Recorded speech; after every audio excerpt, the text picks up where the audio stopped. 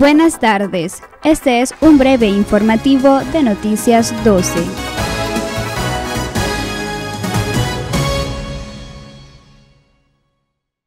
Candidata a la vicepresidencia Berenice Quesada, en arresto domiciliar según denuncia Partido Ciudadanos por la Libertad.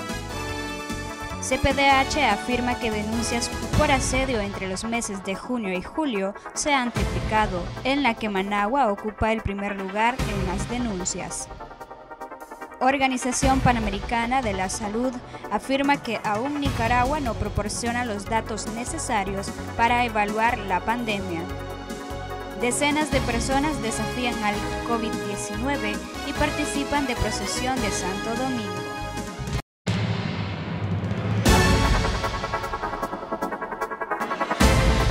Espera la ampliación de esta y otras informaciones a las 6 de la tarde.